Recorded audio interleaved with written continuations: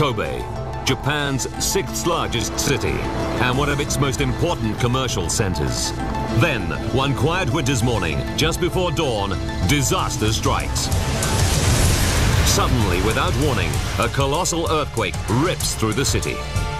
It topples roadways and knocks over tower blocks.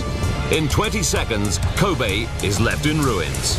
Over 5,500 people die. Now, using advanced computer simulations, we reveal exactly why so many died in what was meant to be the most earthquake-proof country on Earth. Behind every disaster lies a chain of critical events that decide who lives and who dies. Unravel the clues and count down those final seconds from disaster.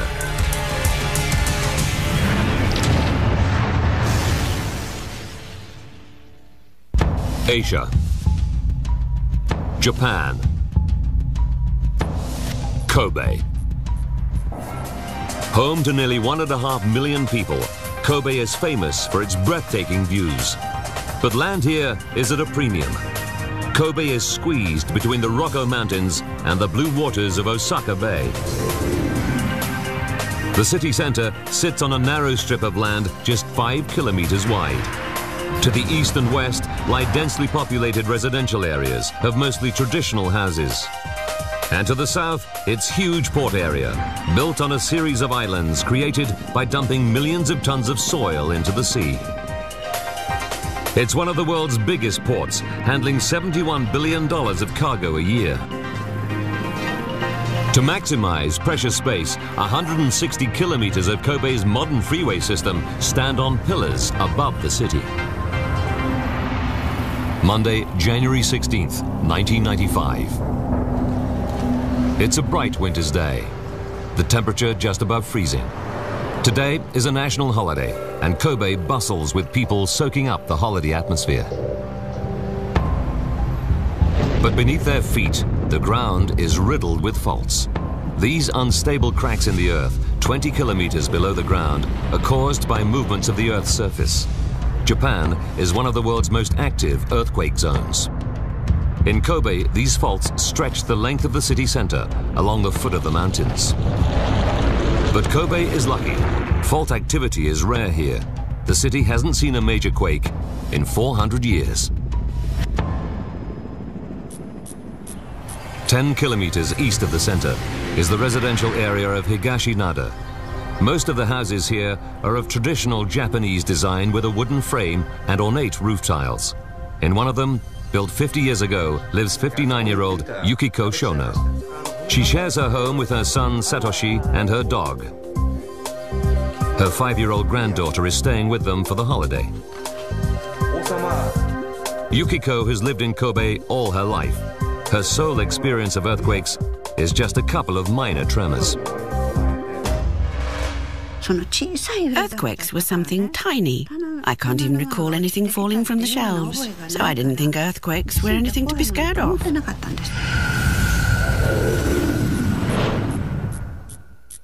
Thirty kilometers east of Kobe is the Osaka Earthquake Observatory. Here, scientists monitor part of a network of thousands of seismic sensors spread all over Japan. Tonight, Toshio Arimoto is on duty with a colleague. In 21 years, he's monitored several major earthquakes across the country.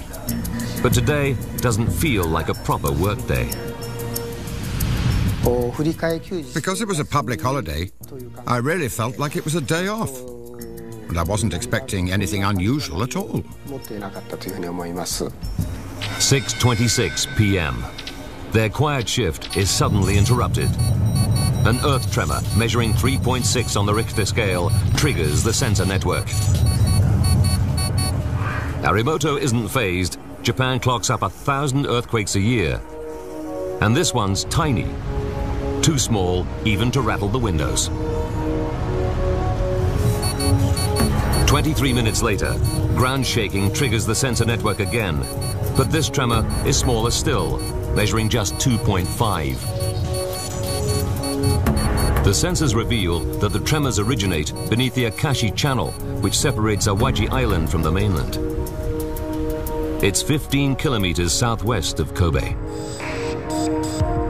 In Kobe City, people are oblivious to the tremors.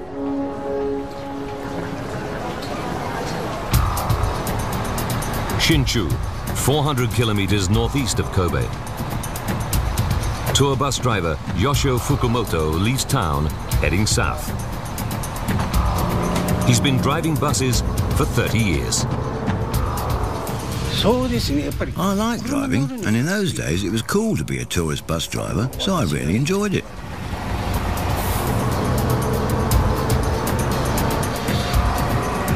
Fukumoto's destination is Kobe. It's an overnight trip scheduled to take 12 hours.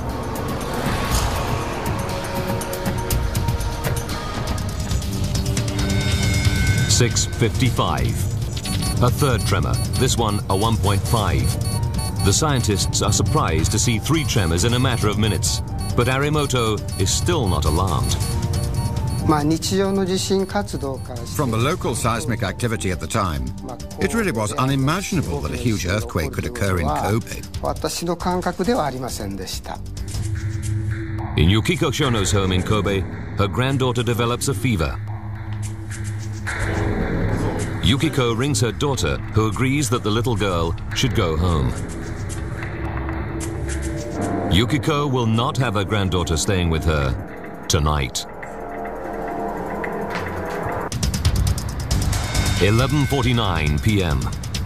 After nearly five hours of silence, a fourth tremor shakes the Akashi Channel. On average, there are five tremors exceeding magnitude 1.5 in a year. There have now been four in just under five and a half hours. 29-year-old Satoshi Shono keeps his mother Yukiko up past her bedtime. He's keen to show her his latest gadget, a laptop computer. We stayed up chatting for quite a while that evening.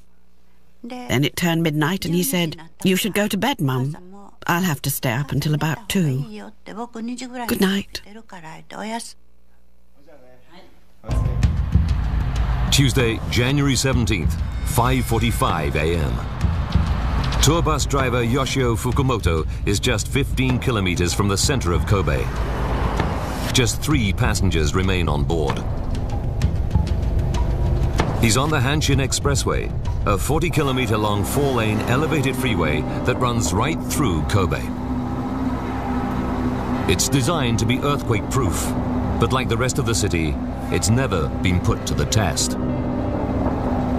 Fukumoto soon expects to be heading back to his family in nearby Kyoto.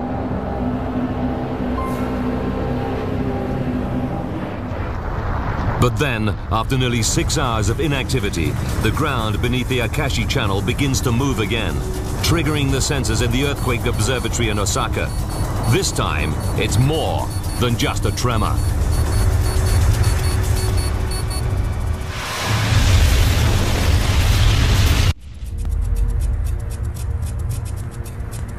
January 17th, 1995.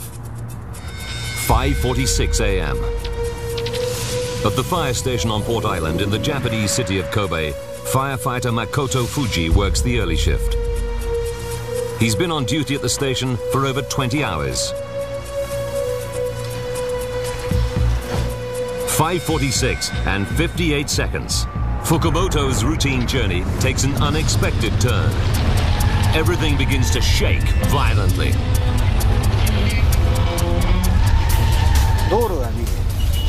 The freeway started to weave. I'd seen something like this in the movies, but I never thought I'd see the real thing.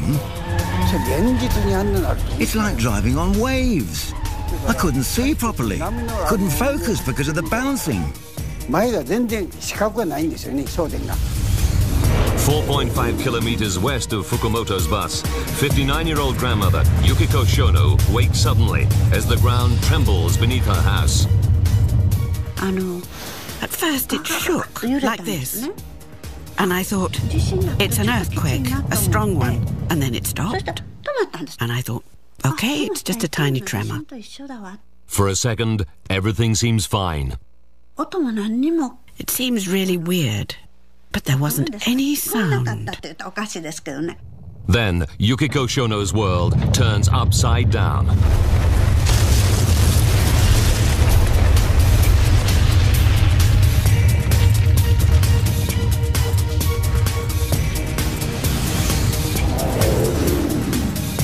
Port Island fire station, the earth begins to shake.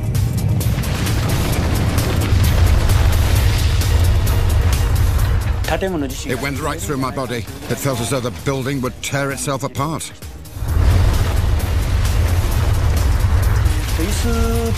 Chairs and things on the desk crashed to the floor.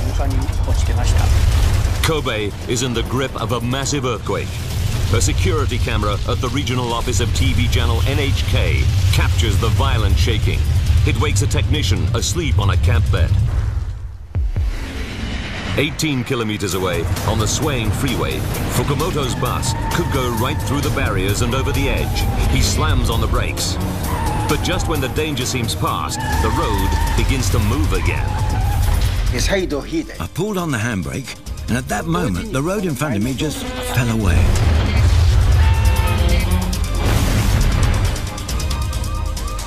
I really thought we'd fallen off the edge.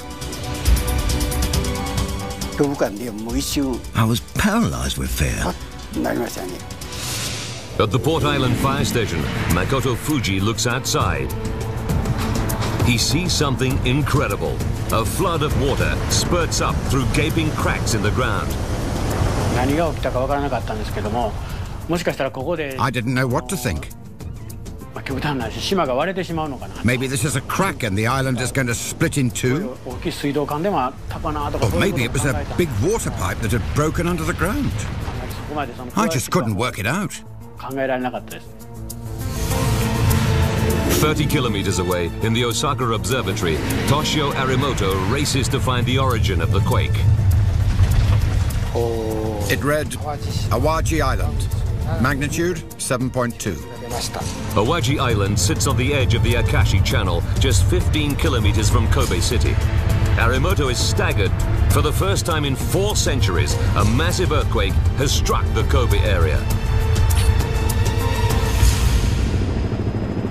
5.47 and 12 seconds. Just 14 seconds after the violent shuddering began, the earthquake subsides. Yoshio Fukumoto holds his breath. His bus teeters on the edge of the shattered freeway. The front wheels hang over a 15-meter drop. He's terrified that it will plunge to the ground. He must get the passengers off the bus.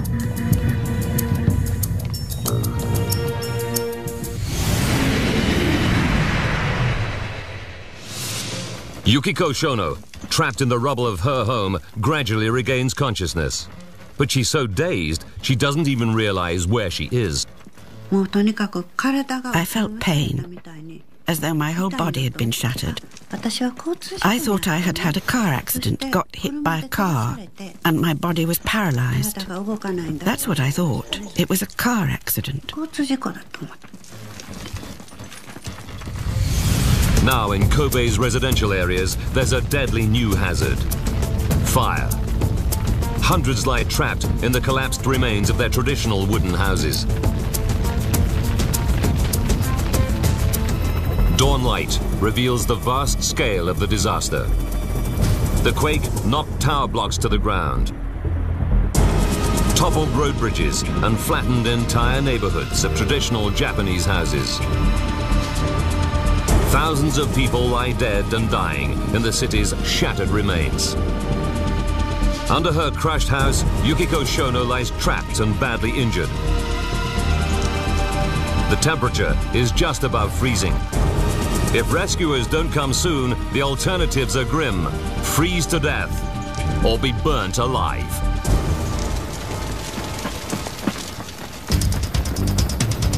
A magnitude 7.2 earthquake rips apart the Japanese city of Kobe. Thousands lie trapped and dying under wreckage. On the Hanshin Expressway, a tour bus narrowly escapes disaster. After getting his passengers safely off the bus, driver Yoshio Fukumoto is desperate to tell his company in Kyoto what's happened. So I phoned the office and said, the Hanshin Expressway has collapsed. The bus is just hanging off the edge. He told me to stop joking. Maybe it was a bit too early in the morning for him, but he sounded annoyed. The man tells Yoshio to go back and retrieve the bus's legal documents in case the bus falls over the edge. The guy just didn't understand what had happened.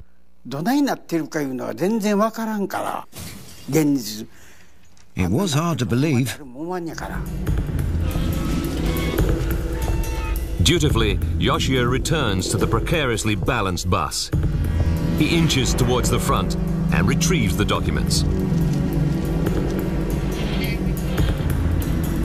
In the dawn light, Fukumoto takes pictures of his remarkable escape using a disposable camera. The way it was sticking out looked completely different from when we were up there. It was much more scary to look up from beneath, and I really wondered how I'd survived. It's a miraculous escape. Fukumoto walks away from his brush with death without a scratch. 4.5 kilometers from the stranded bus, 59-year-old Yukiko Shono isn't so lucky. She's been crushed beneath the wreckage of her home for over two hours. I couldn't breathe, and I was choking and sweating. I thought the only release from this agony would be to die. I wondered how I could kill myself.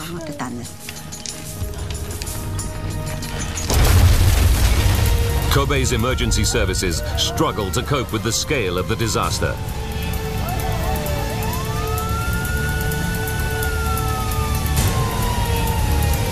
Emergency vehicles find it almost impossible to move around the city's debris-clogged streets. 8.30 a.m. Yukiko's daughter, Kumiko, arrives in her mother's traditional neighborhood with her husband. Her own more modern home survived the quake. She and her little daughter escaped unhurt. But she's horrified to find that where her mother's house stood is just a shattered pile of timber and roof tiles. She realizes her mother and brother must lie beneath the tons of debris. At that point, I thought they were probably dead because I couldn't believe a person could survive under that rubble. Ruptured gas mains fuel fires raging across the city.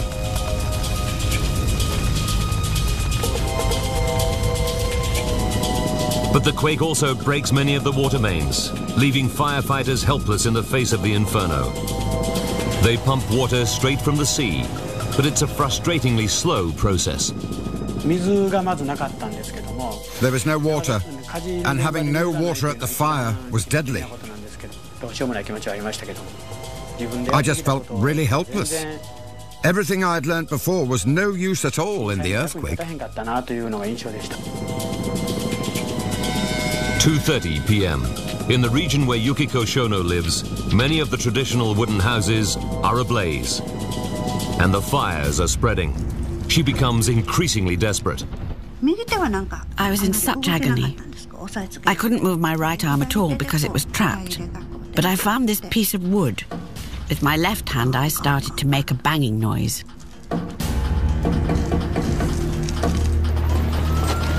Outside, Yukiko's daughter hears something.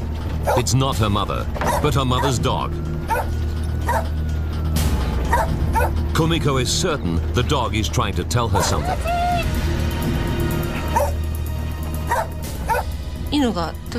She barked and stopped, barked and stopped, and kept staring at my face.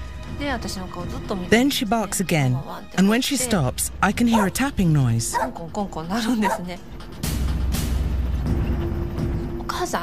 So I called out, Mother, Mother. And we heard a tapping response. And we realized she was still alive. Oh, Kumiko finds some construction workers. They help her dig towards the sounds of the tapping.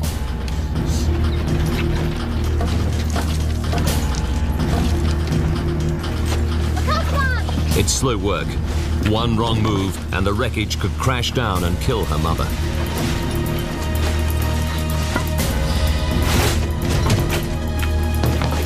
Two hours later, they finally reached Yukiko.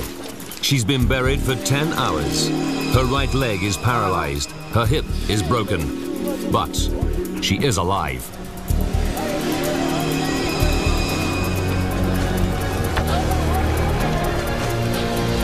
Finding her mother gives Kumiko new hope. Her younger brother, Satoshi, could be alive too, somewhere under the debris. She calls out, but he doesn't answer.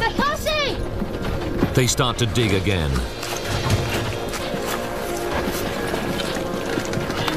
Five hours later, they find him. But it's too late.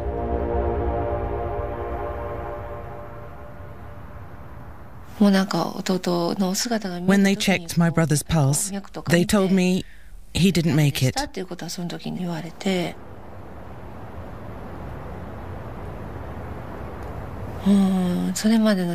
It was the most shocking thing that's ever happened to me. That evening, Kumiko has to break it to her mother that her beloved son is dead. He was just 29 years old. So my daughter told me that Satoshi didn't make it, and I couldn't speak. I just said, I see. I cried underneath my quilt after she left, making sure that my tears couldn't be seen from the outside. Yukiko Shono's son is just one of 5,502 people killed. More than 235,000 people are homeless. More than 100,000 buildings destroyed. The quake wrecks electricity and water systems. The damage tops $150 billion. It's the world's most costly disaster. It overwhelmed the city's emergency services, and help from the national government took almost two days to arrive. Japan prides itself on its ability to build earthquake-proof buildings. So why does their city lie in ruins? And why didn't scientists predict a major quake? The population of Kobe wants answers. 24 separate teams of experts embark on a wide-ranging investigation of the disaster. Seismologists will explore the quake itself, while engineering experts probe the failure of buildings and structures. Now, by rewinding the disaster and by going deep into the investigation, we reveal what really happened at Kobe, how so many people died, and why the quake left the city looking like a war zone. Advanced computer simulation will take us where no camera can go, into the heart of the Kobe disaster.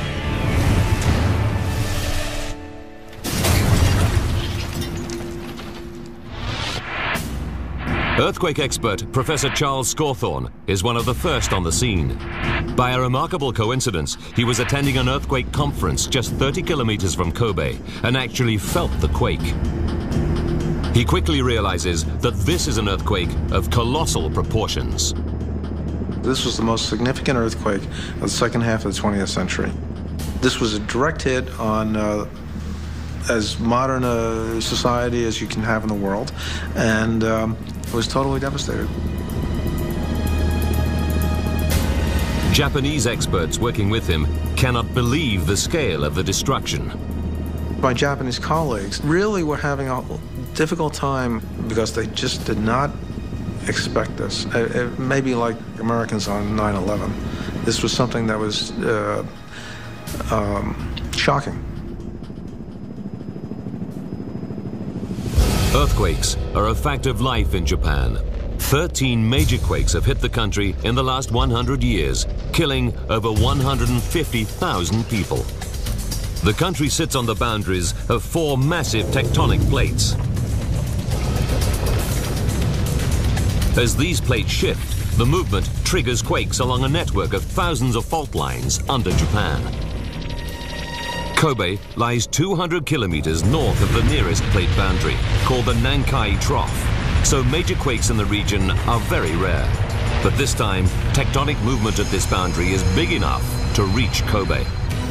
Seismic equipment reveals that the quake is magnitude 7.2, powerful enough to be picked up by sensors on the other side of the planet. The quake scores a direct hit on Kobe City, but scientists are puzzled to find that its original epicenter is 15 kilometers away. It doesn't seem to make any sense. This should put Kobe outside the zone of severe damage. So what did cause the destruction in Kobe City?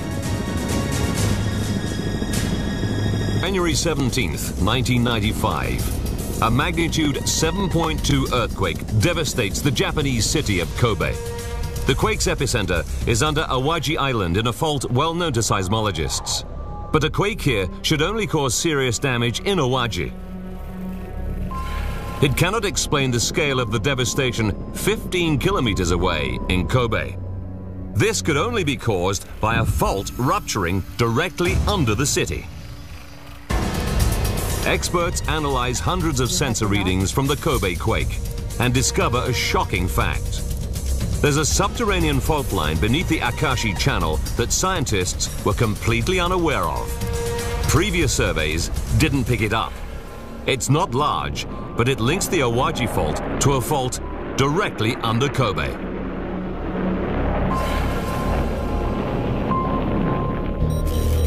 January 16th, 11.49 p.m.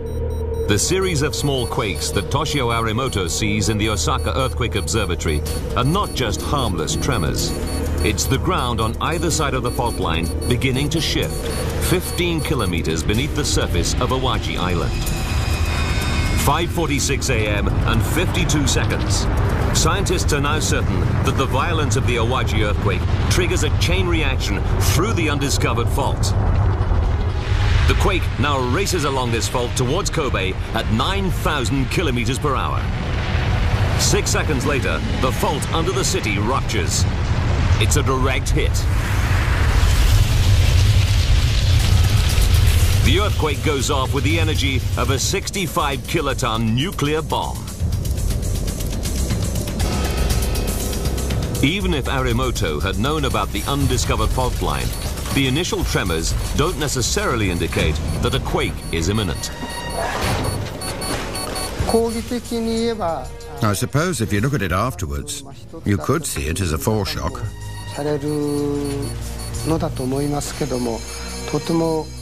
But there's no way to predict there's going to be a huge disaster from just observing a bunch of tremors.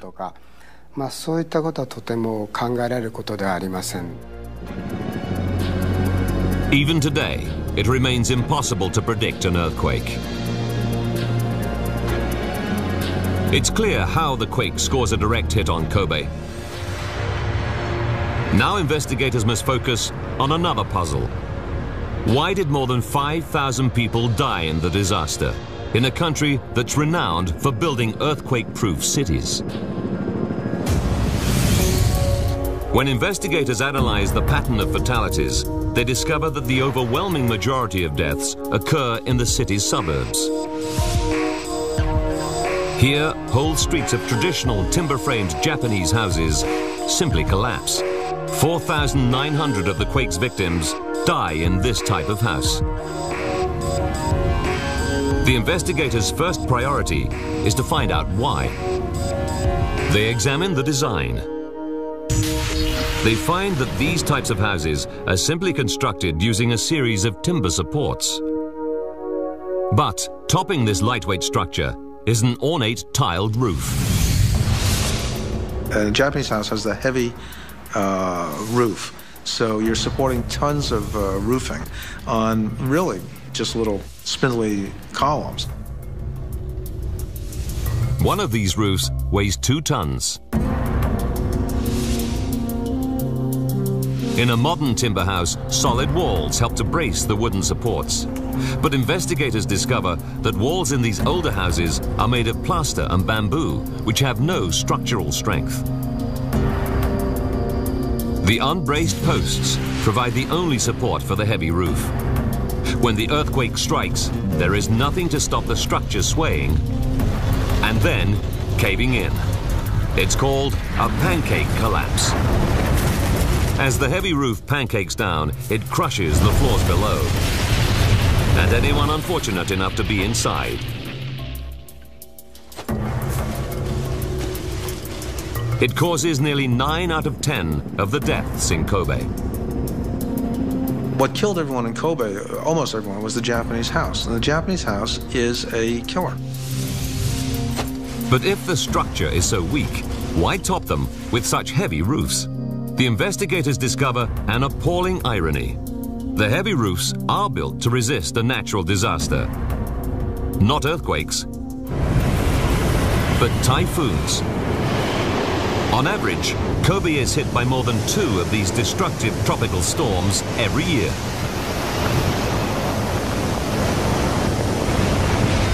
Five forty-six and fifty-eight seconds. Yukiko Shono's typhoon-proof house is no match for the devastating power of the Kobe quake. The house simply collapses, crushing her and killing her son.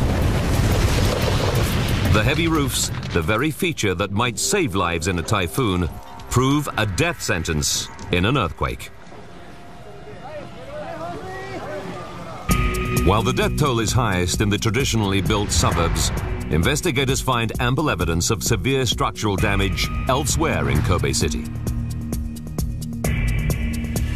And investigators are puzzled why so many of Kobe's modern structures also collapse. These should be constructed to building codes specifically designed to withstand a major earthquake.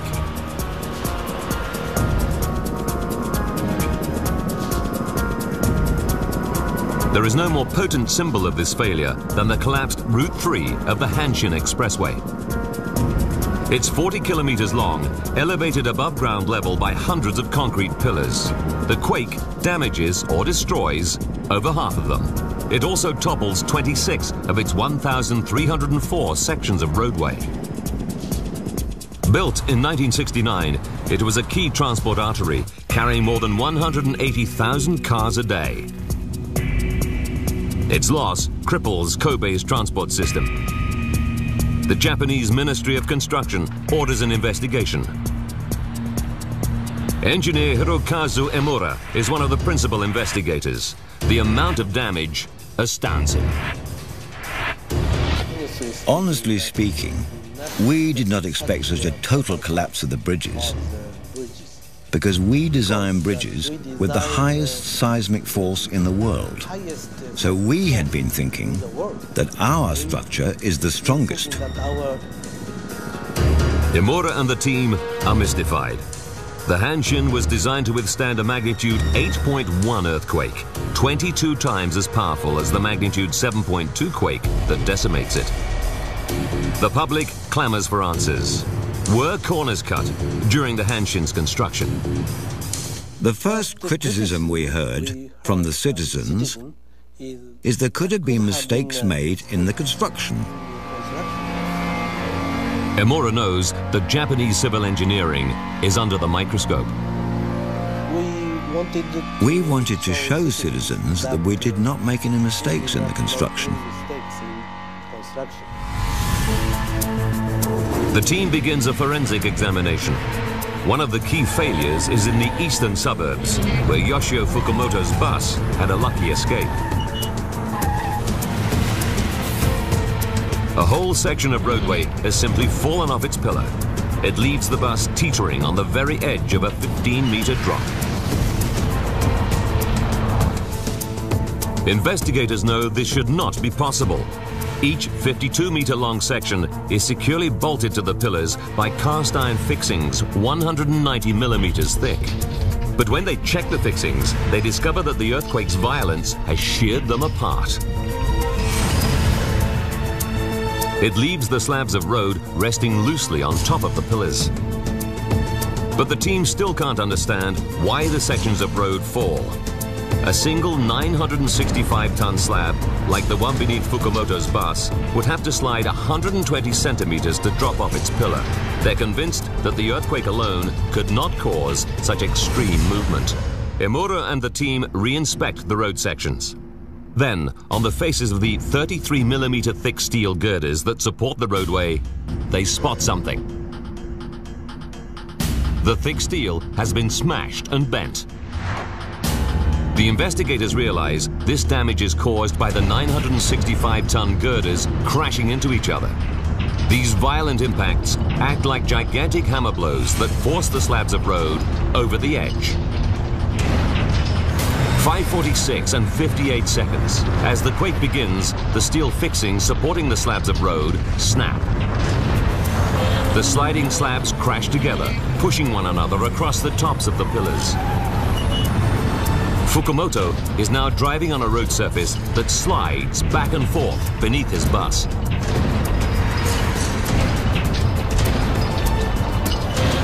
Fukumoto screeches to a halt. His front wheels rest on a road section teetering on the edge of its pillar. Then it slips the last few centimeters and crashes over the edge. If Fukumoto had stopped a few meters further on, his bus would have plummeted 15 meters. Chances of survival would have been slim. The way it was sticking out, I really wondered how we survived.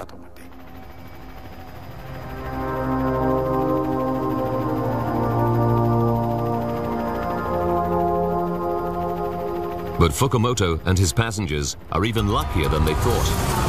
Had the quake happened just minutes later, he would have traveled 4.5 kilometers further along the Hanshin. Here, the quake topples a stretch of roadway more than half a kilometer long. And it looks almost like a giant child's toy that's laid over on its side. The girder fixings here are intact. This time the quake has fractured the concrete pillars themselves. How did they fail? Emura and the team inspect the pillars. They find that three layers of steel bars reinforce them. It's a routine building technique. The two outer layers run all the way from top to bottom but the inner layer stops 1.5 meters above ground level. Photographs taken during the investigation show these shorter bars sticking out of the shattered concrete. This is exactly where the pillars fail.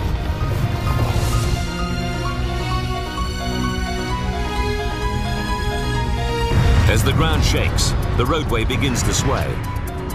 Its vast weight puts immense stress on the pillars. Seconds later, the pillars snap at their weakest point, where the inner layer of reinforcing bars ends. The heavy roadway crashes to the ground. Investigators work out that if the inner reinforcing bars had not been made short like this, the Hanshin might have survived the quake.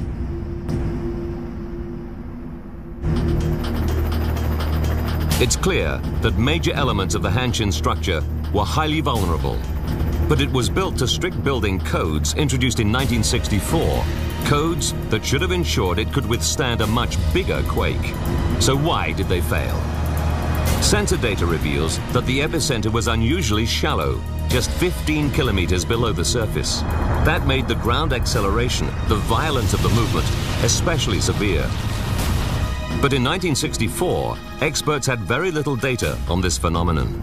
Investigators discover that the ground acceleration in the Kobe quake was more than twice as violent as the 1964 building codes allowed for.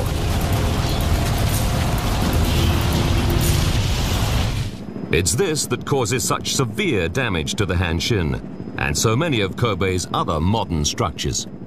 Now we knew from the results that the design method at the time was not correct. The Japanese government updated the codes three times after the Hanshin was built, but the new rules only applied to new structures, not existing ones.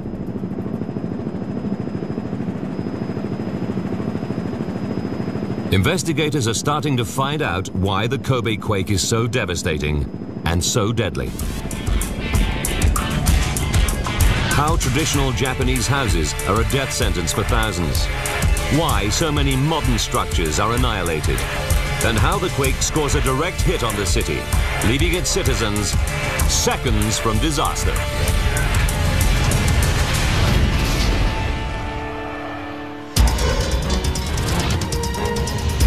Twenty seconds from disaster.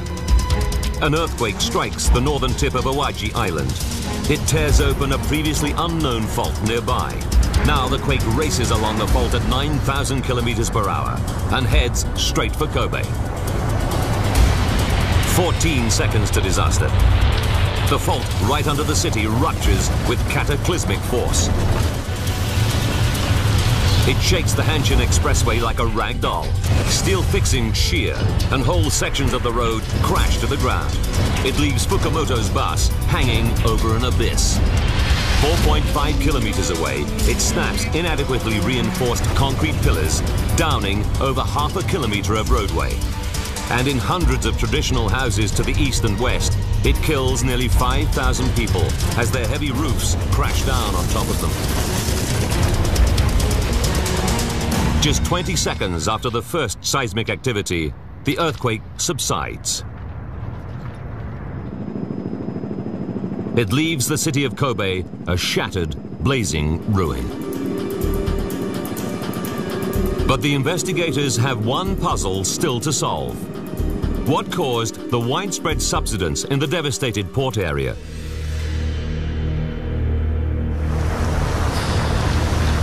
Could the mysterious eruptions of muddy water reported by witnesses be a crucial clue?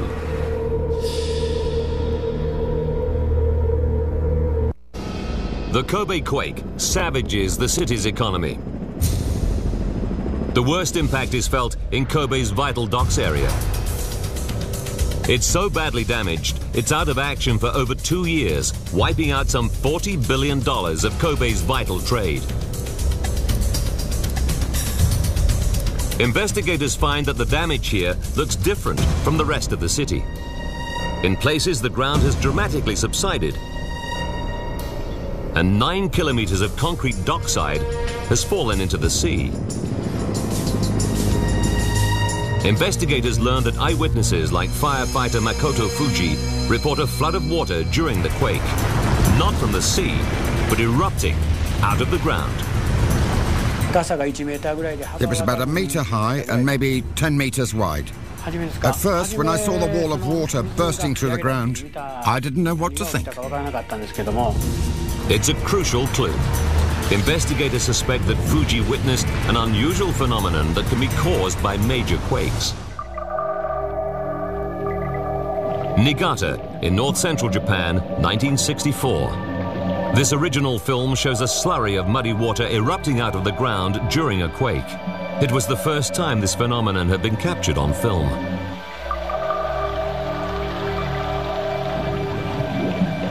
It undermines the foundations of buildings, causing severe damage. The phenomenon is now known as liquefaction. It happens when a quake strikes ground saturated with water, just like the land beneath Kobe's Port Island. Port Island is built on land reclaimed from the sea in Kobe's harbor. City authorities dumped 80 million cubic meters of sandy soil from the Rokko Mountains over an area of 4.5 square kilometers. The 14-year project was completed in 1980. The landfilled area would usually be a perfectly reliable base for buildings. But just below the surface, it's loosely packed and saturated with water.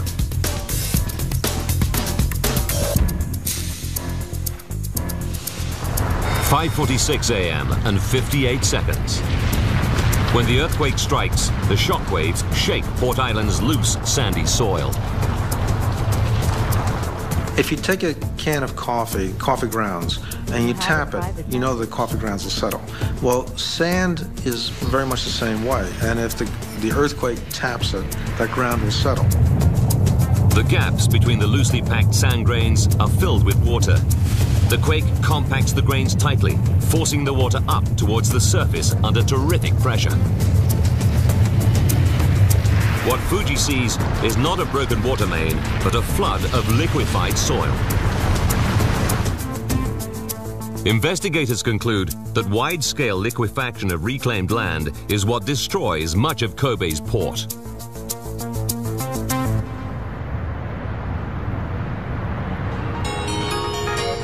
In the wake of the disaster, city authorities rebuild Kobe using the latest earthquake-proofing technology.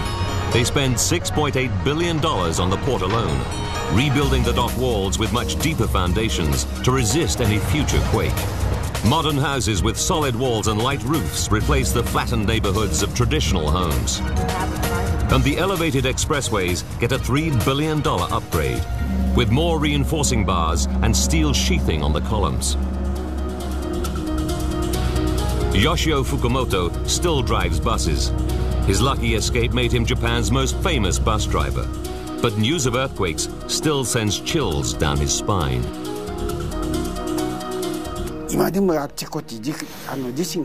When I see earthquakes today, I feel a raw pain. I'm very frightened of earthquakes.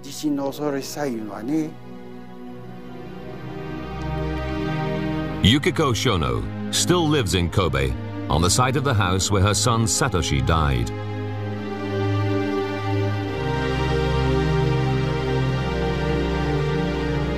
Yukiko now gives public talks, advising people how to be prepared if an earthquake strikes. If that saves even one more life the next disaster, this is the least I can do for those who died. If there is a world beyond this one, when I get to where my son is, I can at least smile and proudly tell him, Mummy has done well. After the Kobe disaster, Japan's government introduced a national disaster strategy to ensure fast response by rescuers and equipment in the event of a major quake. When a magnitude 6.8 quake hit the city of Niigata in 2004, special rescue teams were on the scene within hours. The Kobe disaster forced the Japanese to reappraise just how earthquake-proof their cities really are. They can't change their earthquake-prone country, but the lessons learned from Kobe will save thousands of lives when another major earthquake strikes.